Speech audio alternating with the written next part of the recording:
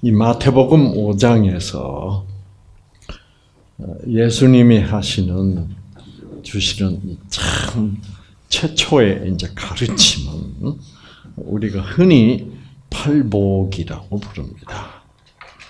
어, 팔복이라고 그러면 여덟 가지 복이라는 뜻이에요. 그래서 어, 이제 이거를 주로 조건적으로 가르치면 여덟 가지 어, 복을 받는 여덟 가지 방법 또는 뭐예요? 여덟 가지 복을 받는 방법. 뭐 이런 식으로 그렇게 사람들이 이해하고 있습니다. 그런데 음. 가만 보면 어, 여기는 어, 이 가르침은 우리 사람이 하나님으로부터 복을 받으면 이 복을 받으면이라는 말은 깨달음을 얻으면 네. 아, 사람이 아무리 잘 먹고 잘 살아도 뭐를 깨닫지 못하면 진리를 모르면 그 사람들은 아무 가치 없이 왔다가 그냥 가는 사람에 불과합니다. 그래서 이 진리를 깨닫는 것이 복입니다. 아시겠죠? 그래서 이 진리를 깨닫는 복. 그래서 그 진리를 깨닫게 하는 것이 무엇이라 그랬습니까? 나로 하여금 진리를 깨닫게 하는 것. 그것이 성령이라 그랬어요. 성령. 그래서 하나님의 영. 그래서 그 영적 에너지는 무엇을 지배한다? 네, 물리적 에너지를 지배한다. 영적 에너지가 오면 우리 사람에게 오면 우리 뇌파라는 전기 에너지를 변화시킵니다. 음. 그래서 뇌파가 확 달라져요. 음. 뇌파가 달라지면서 우리 몸을 흐르는 생체 전자파가 변화가 돼버리 고 그래서 생체 전자파가 알파파로 베타파에서 알파파로 좋은 파로 변하면 유전자의 회복이 일어난다. 꺼진 유전자가 커지게 켜지기도 하고 예, 변질된 유전자가 다시 정상으로 회복하기도 한다. 그래서 우리가 성령의 능력으로 능력이란 말은 성령의 힘입니다. 성령의 힘으로 우리에게 치유가 일어난다. 아, 그런 겁니다. 그래서 어, 복이 뭐예요? 복은 예, 진리를 모르던 사람이 진리를 깨달아 알게 된다. 그 진리를 깨달아 알게 되는 것은 하나님이 보내신 성령의 역사로 일어난다. 그래서 성령을 받아서 진리를 깨닫는 것이 우리 인간이 받을 수 있는 복이다. 음, 복이다. 그래서 이 진리는 뭐예요? 진리는 진리는 하나님은 무조건적 사랑이다. 무조건적 사랑은 무엇이다? 생명이다. 그렇죠? 생명은 우리 죽은 우리를 다시 살린다. 꺼진 유전자를 다시 켜주고 망가진 유전자를 다시 회복시키고 네. 우리 죽은 마음을 다시 생동하게 하는 그런 생명이다. 그래서 음, 그러나 많은 사람들은 복이 뭐냐? 그러면 뭐라고 생각합니까? 복이 뭐냐? 예, 돈잘 버는 게 복이다. 그래서 그 그런 복을 무슨 복? 돈복. 예. 아 출세하는 게 복이다. 그런 건 무슨 복? 출세복. 여자가 줄줄 따르는 게 복이다. 여보. 응. 참 그런 복은 무엇이 따라댕깁니까? 네, 화가 따라댕깁니다. 아시겠죠? 그래서 그러나 그런 그런 복을 우리가 세속적 복이라 그러죠. 그래서 이러한 세속적 복을 추구하는 신앙을 무슨 신앙이라고 그래요? 기복 신앙이라고 그런다. 아, 그래서 예수를 잘 믿으면 아, 부자가 됩니다. 아, 어, 뭐 출세를 합니다.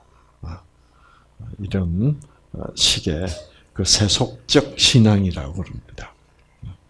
그러나 진짜 신앙은 어, 그런 것과는 상관없이 무엇이 중요합니까? 예, 하나님은 과연 어떤 분인가? 무조건적 사랑의 하나님이다. 그 사랑은 바로 생명이다. 그 생명이 우리를 치유할 수 있고 우리를 사망으로부터 부활시킬 수 있다. 그래하여 우리를 영원히 살게 한다. 이제 이런 게 이제 진짜 진리고 이런 것을 가진 사람을 복 받은 사람이라고 그런다. 아시겠죠? 음. 그래서 성경에서 복이 뭐냐고 어, 우리가 물으면 어, 뭐를 복이라고 자 복이 성경에서 과연 복이 생명이냐 이거를 여러분이 조금 알아보시고 어, 강의를 계속하는 게 좋겠습니다. 음. 성경에 복이라는 단어가 맨 처음 첫 번째로 처음으로 등, 등장하는 데는 바로 창세기 1장입니다. 창세기 1장에서는 하나님이 이 땅을 창조하시고 그 다음에 순서대로 식물을 창조하시고 해를 창조하시고 쭉 창조를 하십니다. 그래서 하나님이 다섯째 날에 예, 예, 이제 예, 쭉 그래서 하나님이 땅을 만드시고 어, 바다를 만드시고 그 다음에 풀과 씨 맺는 채소, 뭐 과실 나무, 어, 그 다음에 이제 여러 가지 예, 예, 여러 가지 각기 종류대로 열매 맺는 나무를 내니 하나님 보시기에 좋았더라. 이것이 바로 몇째 날이더라? 넷째 날이더라. 아, 그래서 이제 좀, 어, 좀 생략하고, 어, 그 다음에, 이제 넷째 날이더라. 어, 그 다음에, 이제, 하나님 가라사대, 물, 바다에도 생물로 번성케 하고, 여기 보시면 물들은 생물로 번성케 하라. 라고 명령했죠? 그렇죠? 누구한테 한 명령이에요?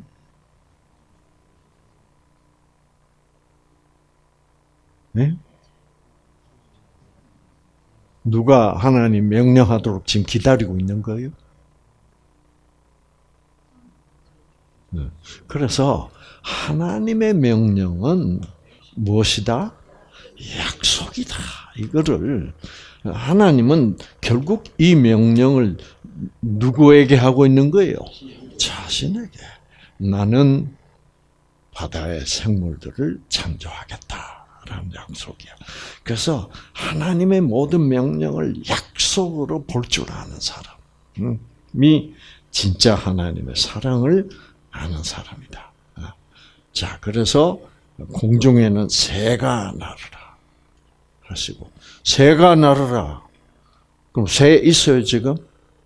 없어요. 그러니까 새를 내가 창조해서 공중에는 새가 날도록 하겠다라는 하나님의 맹세야. 그래서 여러분 다시 한번 제가 보여드리는데 그러니까 하나님은 자 누구든지 맹세를 하려면 어, 내가 무엇을 두고 맹세한다 그러잖아요. 사람들이 맹세할 때는 뭐요? 어, 내가 우리 아버지의 이름을 걸고 맹세한다 그러죠. 또는 더 큰 거, 내가 하늘을 걸고 맹세한다. 하늘을 두고 맹세한다. 하늘을 걸고 맹세한다. 이렇게 얘기합니다. 그렇죠? 근데 성경은 그러니까 맹세할 때는 이 맹세를 하는 당사자보다 더 뭐요? 높은 사람, 더 큰 존재를 걸고 맹세를 해야 돼. 근데 하나님은 맹세를 어떻게 한다고?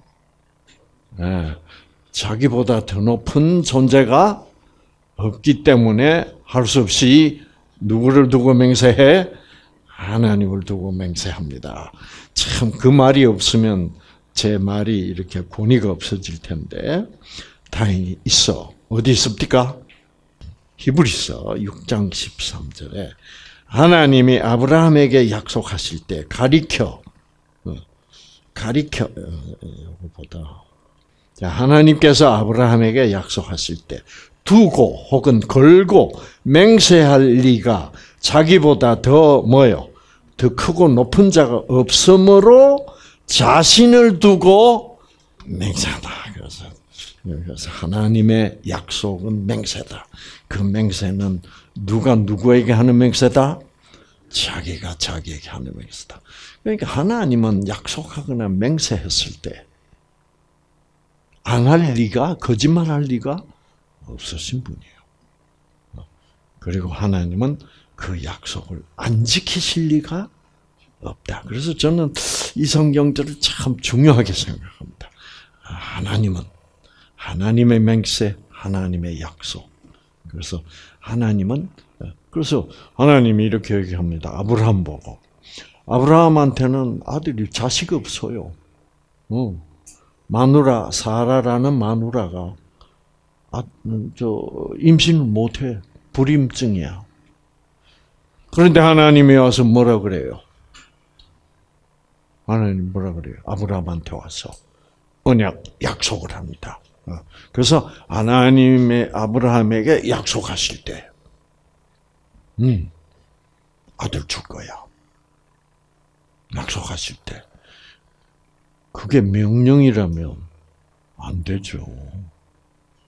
그런데 명, 명, 어, 그래서 누구를 두고 맹세했다고요? 자기를 두고 맹세. 하나님이 아브라함한테 너는 꼭 아들을 가져라. 그리고 그렇게 명령해도 아브라함이 할 수 있어요, 없어요? 없어요. 그거는 하나님만 할 수 있는 겁니다. 그런데 이, 이렇게 하나님이 아브라함에게 아들을 주겠다고 약속을 했어요. 희한하죠? 네. 주겠다고 약속을 했어. 근데 아브라함은 아니 주겠다고 약속한 거를 아브라함과 사라 부부는 그 하나님의 약속을 어떻게 생각했게? 약속이라고 생각을 안 했어요, 세상에. 야, 우리가 어떻게 아들을 만들지? 이랬다고. 왜? 자기들 힘으로 만들 수 있어, 없어? 어. 야, 하나님이 아들 주겠다고 약속을 했거든?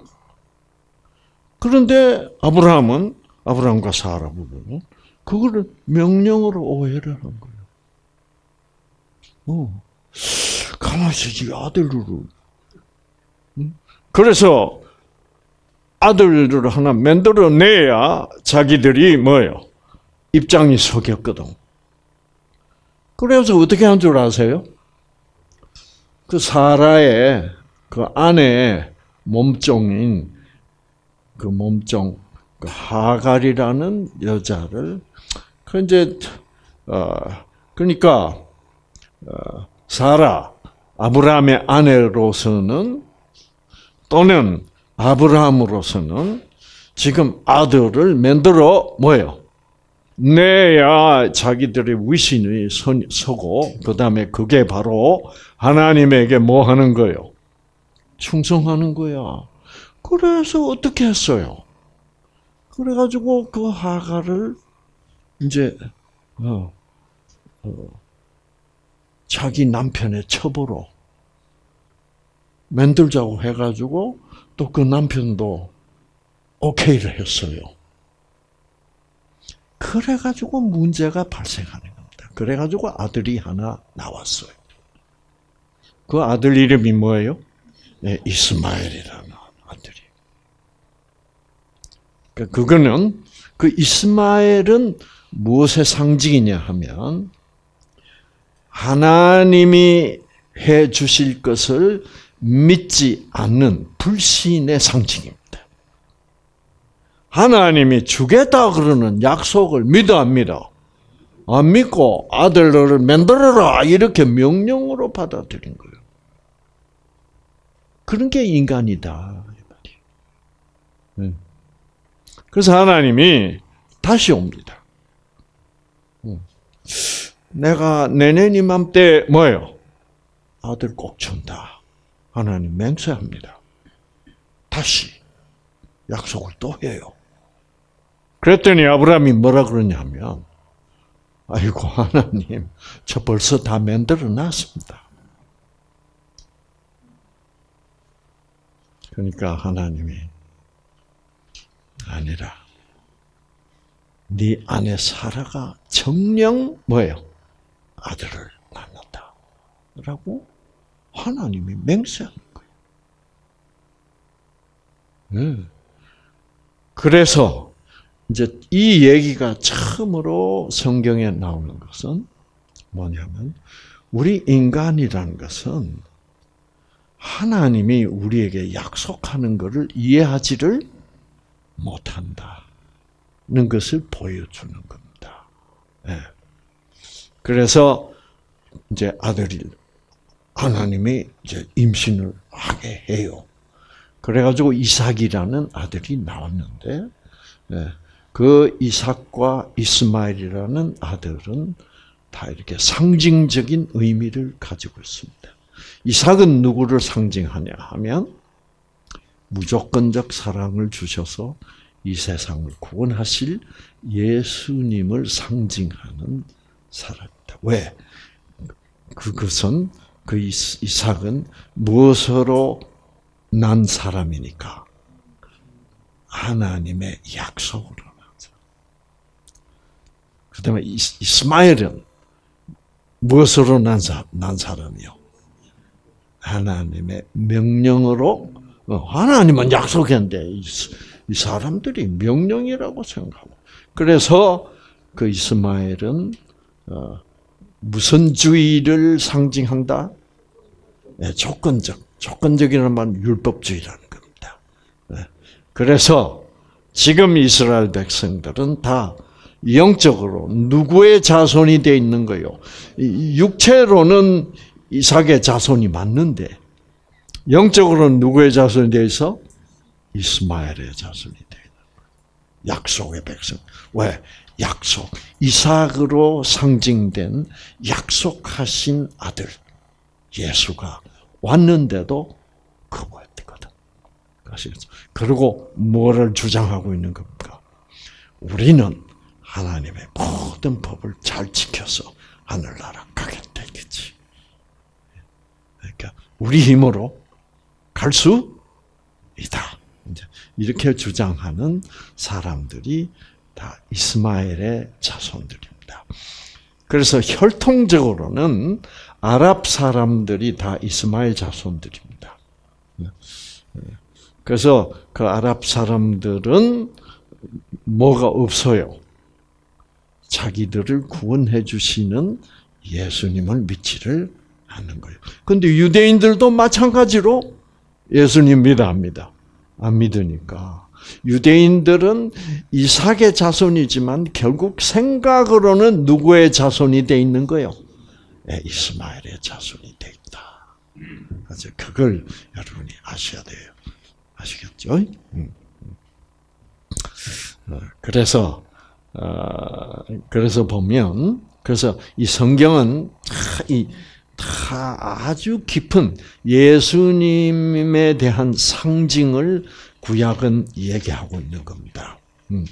그래서 이 갈라디아서 4장을 보시면 아브라함에게 두 아들이 있었는데 하나는 여종 하갈 그렇죠 첫 여종에게서 낳고 하나는 자유로운 여자에게서 낳다 종이 아니야 사람은 본처니까 그 여종에서 난 아들은 육신을 따라서 낳고 자유로운 여자에게 난 아들은, 그 이삭은 무엇으로? 약속을. 약속을, 하나님이 약속을 했고, 아담은, 아, 아브라함은 드디어 그 약속을 더 이상 명령으로 오해하지 않고 약속으로 받아들인 결과로 나온 아들 이삭이다 이 말이에요. 네.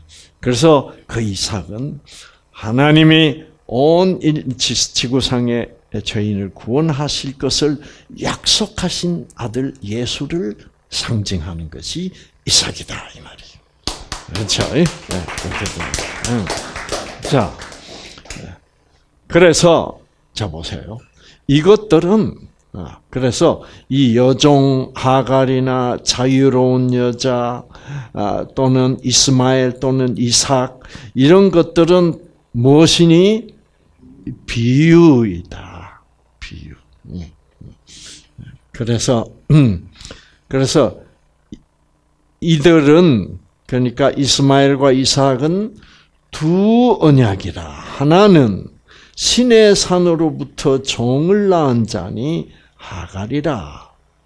어, 그래서 이제 신의 산에서 모세가 받은 게 뭐요? 십계명 명령이야. 예. 그래서 이스마엘은 이 명령의 자손을 상징하고 그래서 어. 그래서 아갈은 아라비아에 있는 신의 산이네. 신의 산을 상징하는 것이다. 그런데 그것은 그것은 지금의 예루살렘과 같다. 지금의 예루살렘은 무슨 뜻이에요? 사도 바울이 그 하갈은 지금의 신의 산인데 신의 산을 비유하는 신의 산에서 모세가 받은 십계명 다 뭐예요? 명령 받은 것인데 지금의 예루살렘과 같다는 말은 무슨 말이에요? 지금 예루살렘은 무엇과 같아?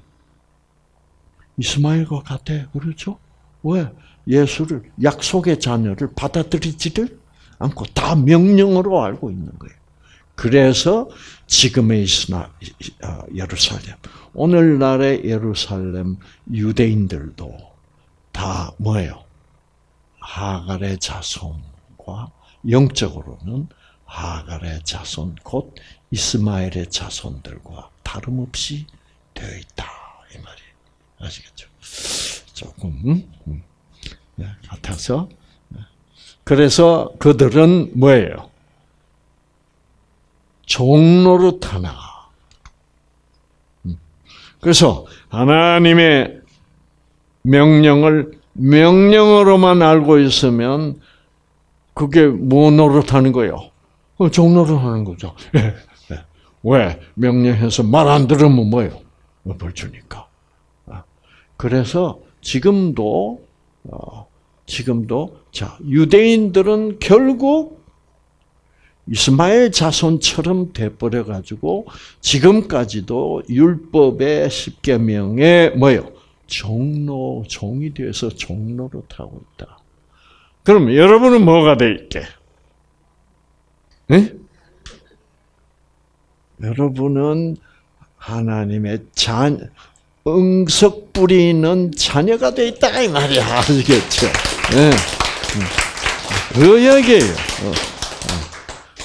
자, 그런데 에, 그런데 에, 지금의 예루살렘은 땅에 있는 예루살렘이고 사도 바울이 말하는 하늘에 있는 예루살렘은 다 하늘에 있는 예루살렘은 자유로우니 우리 모두의 뭐요 아멘이라. 그래서 하늘에 있는 하나님의 나라 천국은 다 아, 우리 명령의 종로로 타는 사람들이 가는 곳이 아니라 그렇죠? 어, 하나님의 모든 명령은 약속이라고 믿고 있는. 그래서 우리는 자유하는 자녀들이 되어 있는 사람 의 나라가 하늘의 예루살렘이다.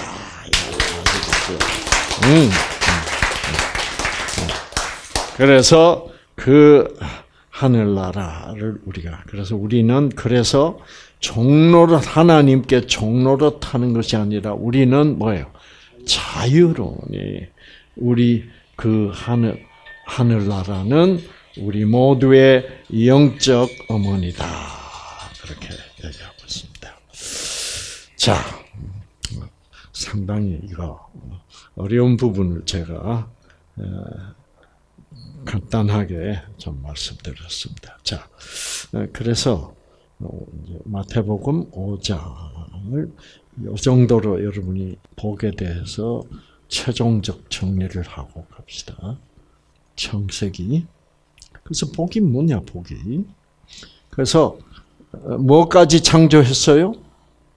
물고기와 새까지 창조했습니다. 그렇죠? 그때까지는 하나님이 뭐를 창조해놓고 복을 줬다는 말을 하시지, 아, 어, 그런 말이 없습니다. 그래서, 그런데 이 창세기 1장에서 21절에 가면 드디어 복이 나옵니다. 자, 자 여기서 생물, 어, 그래서 하나님께서 큰 고래들과 이제 그리고 어, 모든 물고기들을 그 종류대로 창조하시고 날개 있는 모든 새들을 그 종류대로 창조하시니라. 어, 그때 이제 어, 다섯째 날이 되고 어, 그 다음에 그 다음에 어, 어, 예, 어, 어. 자, 22절에 가서 하나님께서 물고기와 새들 그들에게 뭐요? 복을 주시며 말씀하시기를 다산하고 네? 이게 이제 사실 옛날 성경은 예, 이렇게 있어요? 복을 주시며 가라사대 생육하고 뭐요? 번성하라. 근데 복은 생명체로 하여금 뭐하게 하는 거다? 생육하고 번성하게 하는 어떤 것이다. 바로 그게 뭐예요? 생육하고 번성하려면 어, 떻게 돼야 돼? 세포가 어떻게? 세포 분열해서 세포 숫자가 늘어가야 됩니다. 네. 그럼 그것은 뭐가 하는 일이요? 그게 바로 생명이 하는. 그래서 복을 주시면서 생육하고 번성하라는 말은 어, 하나님이 생명을 주어야 일어나는 말입니다. 그래서 복 받는다는 말은 어, 생명 또는 성령의 능력으로 그래서 우리가 아 깨달으면 유전자 켜져 안 켜져요.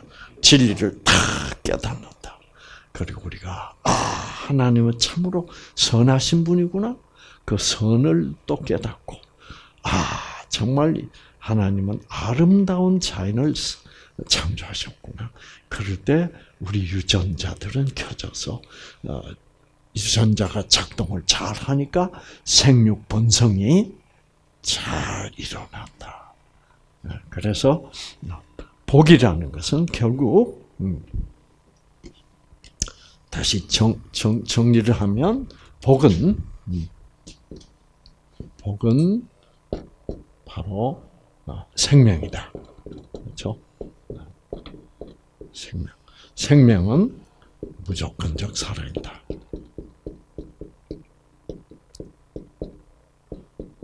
이 생명은 죽은 자를 살리고 그 다음 뭐예요? 치유하신다. 네. 그래서 그리고 어, 무조건적 사랑은 바로 우리에게 새로운 하나님은 아, 하나님의 모든 명령은 무엇이다? 아, 약속 하나님의 약속을 깨닫게 한다. 음. 자, 이게 이제 복.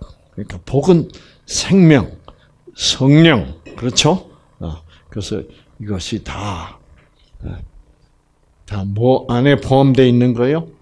성령 안에 포함이 되어 있다. 음. 그래서 복 받았다는 말은 성령 받았다, 생명 받았다. 꺼진 유전자 켜졌다, 새로운 깨달음을 얻었다. 이런 거를 우리가 복 받았다고 한다. 이런 거는 하나님 아니면 주실 수가 없는 것이다. 자, 그래서 어, 오늘 어, 이제 첫 번째 얘기를 오늘 아침에 했는데 심령이 가난한 자는 복이 있나니 천국이 저희 것이며 그렇습니다. 자, 이것은 다시 고쳐서 얘기하면 복 받은 자들은 아 나야말로 정말 하나님의 무조건적 사랑이 가난함 없는 내 속에는 이기심만 있구나. 아, 이런 것을 깨닫는 사람이다. 그렇죠. 깨닫는 사람. 음. 아, 어, 오늘 우리 저기 우리 문검순 씨하고 저기 바닷가에 잠깐 갔다 왔어요. 아 오늘 바다가 얼마나 멋있던지, 네? 날씨가 좀 좋아가지고 그런데 바다도 좋았는데 거기서 또 아주 좋은 걸 봤어요. 어떤 여자가 그 어, 모래 사장 위에서 포즈를 잡고 사진을 찍고 있는데 몸매가 이게 지겨져요 정말 뭐, 뭐 이러면서 사진 찍는데 예, 예. 그래서 이거 그냥 지나가기 힘들더라고요. 그래서 제가 아 구경 좀 합시다. 그러다 우리 집 사람한테 혼났어요. 제가.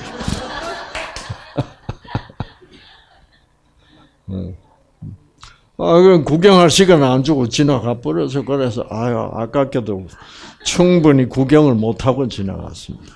어, 어. 자, 예? 예? 예, 그래서 음, 참 음, 그 아직도 아직도 멀었구나. 어, 그렇죠. 예, 예, 참. 그래서 나는 참으로 부족한 사람이다. 라는 것을 뭐예요? 깨닫게 해주신다. 그렇게 깨닫게 해주시는 것은 나를 겁주려고 깨닫게 하시는 것이 아니라 뭐예요? 네가 이 정도밖에 안 돼도 나는 너를 사랑한다. 나를 믿어라.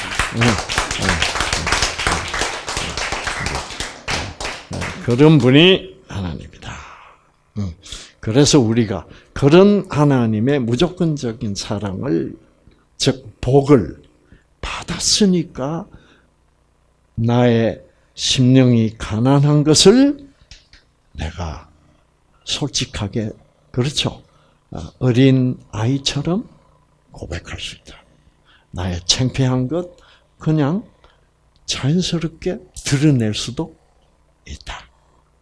이런 사람이 복, 이런 사람은 복을 받았기 때문에 그럴 수 있다.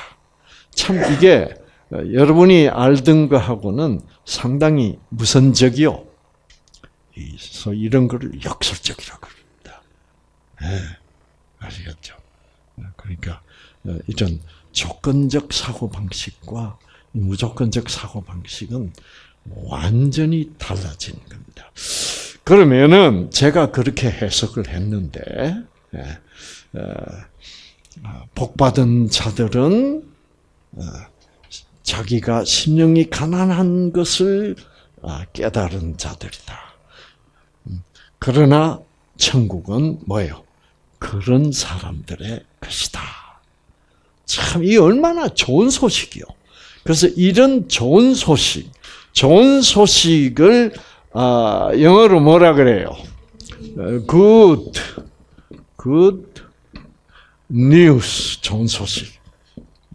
이 굿뉴스를 우리 한국에서는 뭐라 그래요? 복음이라 그래요. 그러니까 좋은 말씀, 어, 좋은 소식이란 말이지. 그래서 복음을 믿는 사람은 행복한 사람입니다. 그렇죠? 그래서 복 받은 사람은 복음을 믿어요. 아시겠죠? 네. 복음을 믿지 않는 사람은 어떤 사람이에요? 모든 하나님의 명령을 무엇으로 끝까지 무엇으로 오해하고 사는 거요? 명령으로 오해하고 살면서 하나님 제가 열심히 노력해서 하나님의 명령을 철저히 뭐요? 수행하도록 할 테니까 부디 저에게 점수를 조금 후하게 줘서 어, 제가 하늘나라 갈 자격이 없더라도 좀 잘 봐 주시면 좋겠습니다. 이러면서 사는 신앙생활 아시겠죠? 를 그건 복음을 믿지 않으면 그런 사람들이 돼버려요. 복음을 믿으면 나는 정말 심령이 가난할지라도 하나님은 나를 사랑하고 어, 그런 것을 깨달은 사람, 천국은 그런 것을 깨달은 사람에게 주신다. 그게 복음 아니에요. 예, 자격 있는 사람이 예, 천국 갈 자격 있는 사람이 에게 하나님 복 주시고 천국 보낸다. 그건 당연한 거지 무슨 보, 무슨 복음이요 그게. 어 나는 뭐 나는 왜 왜 가요 천국에? 자격 있다니까 이 정도면. 응? 어, 오늘 바닷가에 가서 그, 그 여자가 막 이래 싸도 하나도 안 보고 싶더라 나는. 그 말이 진실인지 아닌지는 누구만 알아요. 하나님만 압니다. 아시겠죠? 그런데 사람들은 그게 거짓말일지라도 진실이라고 자기가 자기를 속이고 있는 사람들이 이제 그런 걸 뭐라 그래요? 위선. 왜 사람은 위선자가 됩니까? 무서우면 위선자가 돼요. 뭐가 무서우면 하나님이 혹시 나를 뭐요? 자르면 안 되지. 그게 무섭거든. 그러면 내 마음에 있는 것을 솔직하게 열어서 하나님에게 내보일 자유가 있어 없어? 그럴 자유가 없다는 거예요. 아시겠죠? 그래서 아, 하나님은 나를 어쨌든 간에 무조건적으로 사랑한다는 것을 믿을 때 나는 내 속에 있는 모든 것을 하나님께 열어서 아무리 수치스러운 것일지라도 어, 열어서 보여드릴 수 있는 어, 여섯 살 먹은 아들이 엄마 앞에서만 뭐예요? 고추를 내놔도 괜찮은 것처럼. 왜? 하나님 그래도 나를 사랑한다. 엄마는 나를 사랑한다. 음. 자, 지금까지 이제 제가 이 마태복음 5장 3절을 이제 그런 식으로 어, 여러분께 설명드린 것이 진짜 맞느냐 안 맞느냐는 4절에 가면 답이 저절로 나옵니다. 4절에 뭐라 그랬어요? 애통하는 자가 복이 있다니. 자, 조건적으로 이것을 잘못 가르치는 사람들이 제일 아, 곤란해하는 것이 이 4절입니다. 음, 왜? 아, 하나님은 어떤 사람에게 복을 주냐? 마음을 비운 사람이다. 욕심을 다 비운 사람이다. 이기심을 비운 사람이다. 어, 그렇죠. 어. 그런데 그런 사람한테 복을 준다. 그런 사람들을 천국을 보낸다. 라고 3절을 그렇게 가르쳐 놓으면 4절이 맥혀 안 맥혀? 4절을 설명할 길이 없어. 왜? 애통하는 사람에게 하나님 복을 준다. 이렇게 써놓은 것으로 오해를 하는 게 되죠. 그렇죠? 그래 보이죠? 그렇죠? 애통하는 자가 복을 받는다. 그러면, 그러면 이제 사람들이, 아, 신명이 가난한 자가 복을 받는다고 할 때는 이렇게 저렇게 끼워 맞춰서 아, 욕심을 버려서 마음을 비우는 사람이다. 이렇게 설명이 되긴 됐는데 애통하는 자를 하나님께서 복 주시다니까 이게 이게 조금 이상하게 돼 버리잖아요. 그건 어떻게 설명합니까, 여러분? 이 설명은 대부분의 경우 안 하고 지나가요, 그냥. 그냥 읽고 지나갑니다. 그러면, 왜 애통하는 자가, 그러면 애통한다는 것은 슬프고, 뭐요? 통곡하는 사람에게 하나님이 복을 주신다. 그렇게 되는 겁니까? 뭐, 뭐를, 뭐가 슬퍼야 돼? 예? 어, 그렇지. 그러니까 복 받으려면 가능하면 초상집에를 자주 가서 별로 슬프지 않아도 뭐요?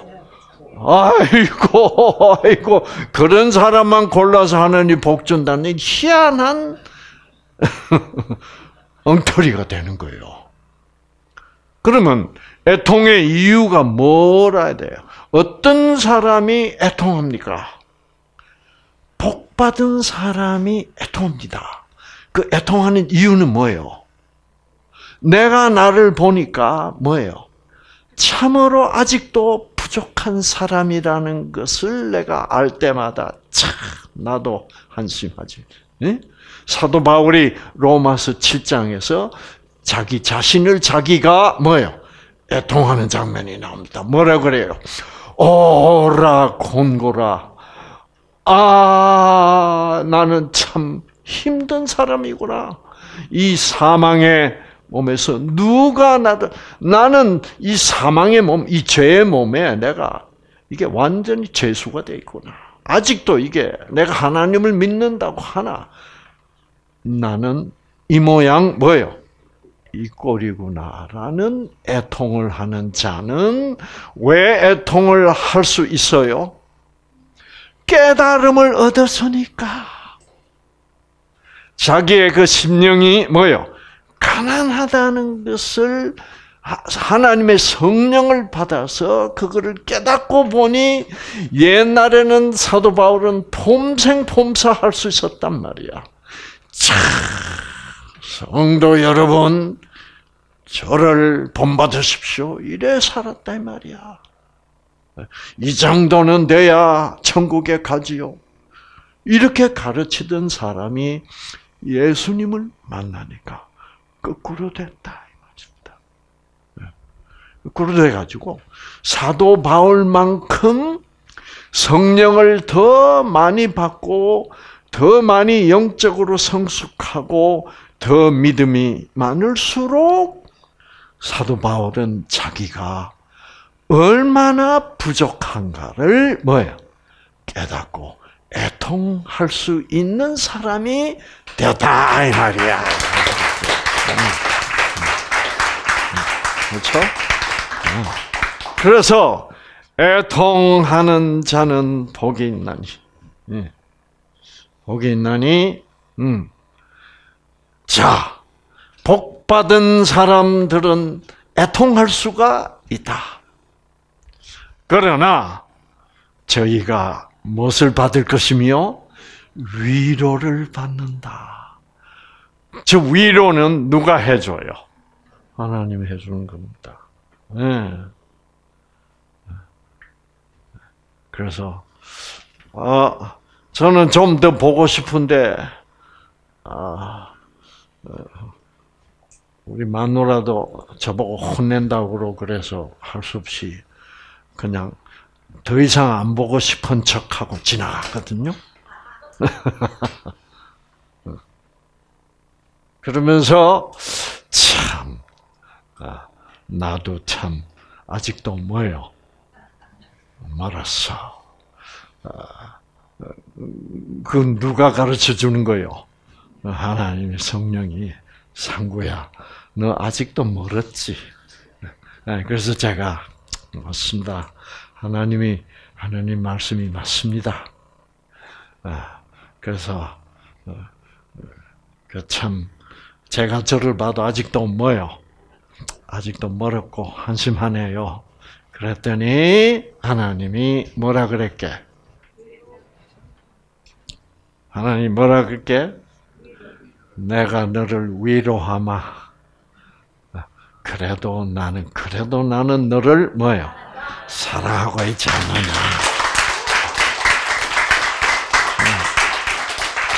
그 위로 그렇게 위로하시는 분이 하나님이다. 그러니까 무조건적 사랑 안에 있으면 하나님은 내 나의 부족한 것이 아무리 나타나도 나를 정죄하시지 않고 뭐 하시는 분이다? 위로하시는 분이다. 위로하시는. 그러니까 여러분, 그래서 자 보세요. 그래서 이제 로마서 7장으로 한번 다시 가보면, 그래서 오라 나는 뭐요? 진짜 공고한 사람이로다. 이 사망의 몸에서 누가 나를 건져내겠냐? 음. 아. 그런데 아니다. 그래도 우리 주 예수 그리스도로 말미암아 하나님께 감사하자. 왜? 내가 이 모양 이 꼴이라도 뭐요? 나를 사랑하시니까 내가 감사해야지. 그렇죠? 그런즉 어, 자 보세요. 그러면서 사도 바울이 이렇게 고백합니다. 내가 나를 잘 보니까 내 자신이 내 마음으로는 하나님의 법을 뭐요? 따르고 싶다. 정말 하나님의 법대로 다 그런 사람이 되고 싶은데 몸으로는 뭐예요? 그 죄의 법을 아직도 나를 지배하고 있다. 그러니까 나는 사망의 몸에 예? 가두어져 있는 참 힘든 공고한 뭐예요? 사람이야. 자, 이럴 때 이제 애통하지요. 그럼 사도 바울이 이렇게 애통하는 순간 하나님이 뭐를 할 뭐를 주실 것이요? 위로를 주실 것이요. 그래서 바로 그 다음 절 보면 위로가 나옵니다. 아시겠죠? 그 바로 그 다음 절이 지금 여기 로마서 7장이죠. 7장 25절까지 끝나고 아, 사실은 본래 편지에는 7장, 8장 이런 거 없어. 어? 그래서 이건 편의상 이렇게 나눠놓은 거예요. 그래서 그 다음, 바로 다음 절을 보면 그게 8장 1절이죠. 자, 이제 그리스도 예수 안에 있는 자에게는, 즉, 하나님의 무조건적 사랑 안에 있는 자에게는 결코 뭐요? 하나님은 내 부족한 걸 가지고 이 자식 너는 내가 잘라버릴 거야. 아직도 이 모양 이 꼴이냐 그러시지 않고 내가 그 무조건적 사랑 이래도 이 정도밖에 안 내가 이렇게 공고할 사람일지라도 하나님은 나를 사랑하신다라고 믿고 예수님 품 안에 그대로 남아 있으면 하나님은 뭐요? 결코 나를 벌하거나 정죄하시지 않고 위로를 하시는 분이다 이 말이야 아시겠어? 음, 음, 음, 그래서 그 어, 정죄함이 없다 하나님은 예수님은 그 이유는 그리스도 예수 안에 있는 즉 무조건적 사랑 안에 있는 생명의 성령의 법이 자, 죄와 사망의 법에서 나를 혹은 여러분들을 해방하셨다. 생명의 성령의 법이 죄와 사망의 법에서 해방시켰다. 요것만 하고 끝납시다. 여러분. 지난번에 잠깐 제가 설명을 드리긴 드렸어요. 근데 여러분 아마 10중 8구 또 잊어버렸을 것 같아. 네. 생명의 성령의 법이 죄와 사망의 법에서 너를 해방시켰다. 무슨 말이에요? 자, 생명의 성령의 법이 뭐예요?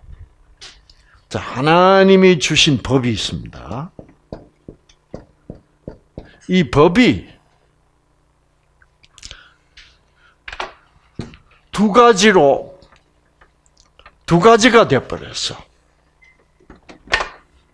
하나는 뭐예요? 죄와 죄와 사망의 법이 되어버렸고 어, 죄와 사망. 하나는 뭐예요? 성령의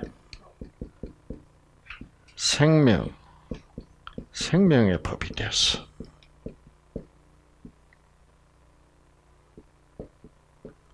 법이 둘로 나눠버렸어.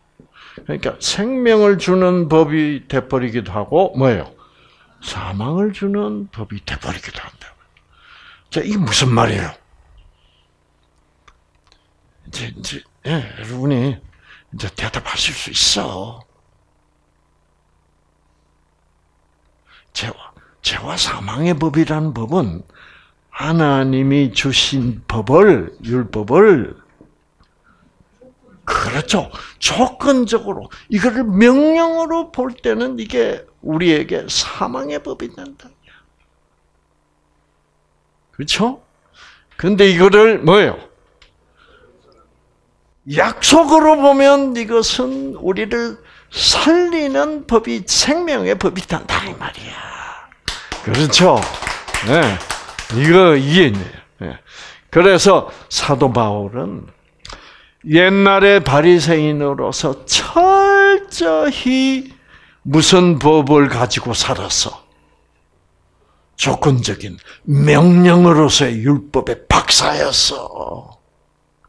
그래서 이, 이 분야에서 최고의 대가였고, 어? 최고로 그렇게 존경을 받던 사람이 갑자기 예수님을 만나서, 아하, 나는 모든 하나님의 명령을 명령으로만 보아온 사람이구나. 그것이 자기 몸에 배었다, 이 말입니다.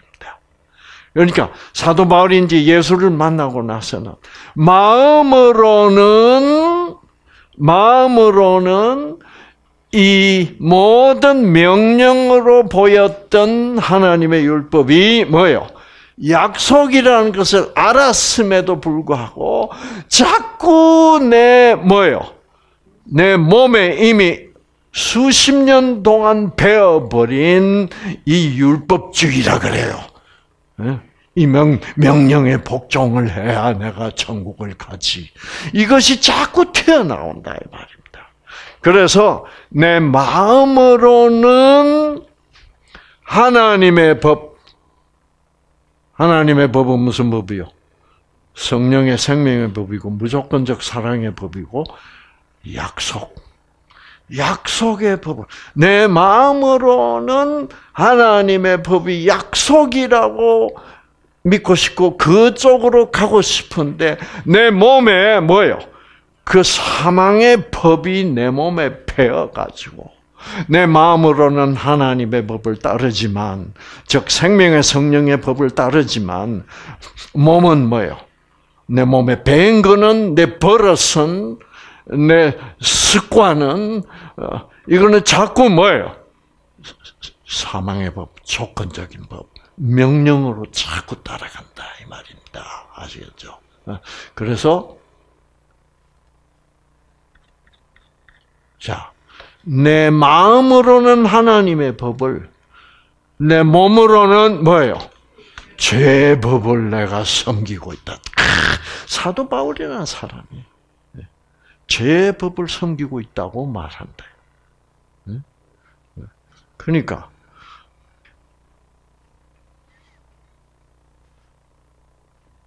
오늘도 해변가에서 응? 응? 어. 자, 이제 무슨 말인지 알겠죠, 그렇죠? 예, 예. 여러분도 뭐 맨날 응? 어, 예, 경험하는 그런 거예요. 그래서 자, 근다 그러나 그럴지라도 예수 그리스도 안에 무조건적 사랑 안에 있을 때는 하나님은 정죄하지 않는다. 왜? 하나님의 무조건적 사랑의 법으로 우리를 뭐요? 우리를 조건적 율법에서 이미 뭐요? 십자가에서 피 흘려서 우리를 해방시켰기 때문이다. 아, 참, 성경은 참 재밌는 거예요. 자, 그래서 드디어 애통하는 자가 복이 있나니 아, 그가 무엇을 받을 것이며 위로를 받을 것이며 그래서 여러분 애통하는 순간마다 두려워하시지 마시고 하나님이 이제 악령은 사단은 애통하는 순간마다 여러분에게 뭐라 그럴까요? 내가 턴나말이야 비상구 너, 나, 나는 아무래도 잘릴 거야. 그렇게 얘기하는 사단의 음성을 뭐요? 거부하고, 음, 상구야, 아직도 멀었지. 네 마음으로는 하나님의 법을 따르고 싶겠지만 몸에 뺀 거는 뭐예요? 아직도 그 모양 그 꼴이지. 그 제가 맞습니다. 그러면 하나님이 음, 그래도 나는 너를 절대로 버릴 수가 없어. 이미 내 아들 예수가 너를 위하여 피 흘렸거든. 그러니까 너도 그것을 믿고 절대로 나를 주눅 들어 가지고 나를 떠나지 말기를 바란다. 네. 하나님, 참으로 하나님이 무조건적 사랑의 하나님이 아니면 우리는 희망을 가질 수가 없습니다. 왜냐하면 우리는 참으로 심령이 가난하고 애통할 수밖에 없는 사람들인데 그럼에도 불구하고 하나님이 이미 우리를 구원하여 주셨기 때문에 우리는 그것을 믿고 계속 우리의 마음 속에 하나님의 법을 더 다지고 또 더 다지면서 하나님께서 끊임없이 주시는 성령으로 변화해 갈 수 있기 때문입니다. 하나님, 정말 이것이 복음입니다. 정말 good news입니다. 이 복음으로 우리의 유전자가 켜지고 치유받는 우리 모두가 되게 하여 주시옵기를 예수님 이름으로 간절히 기도합니다. 아멘. 감사합니다.